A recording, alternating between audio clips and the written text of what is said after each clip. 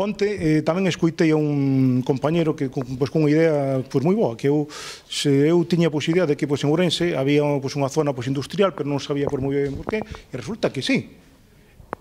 Ourense, pois a cidade conta con unhos terrenos pois, industriales que están aí parados e que non se fai nada. Pois, home, pois eh, a proposta pois, está clara. Ceder esos terrenos ou gratis gratis, fixade, pois, pois estou dicindo cedelos gratis ou uns precios moi baixos a xente que se comprometa a facer aí pois, industrias ou almacenes ou calquer cousa, pero comprometéndose.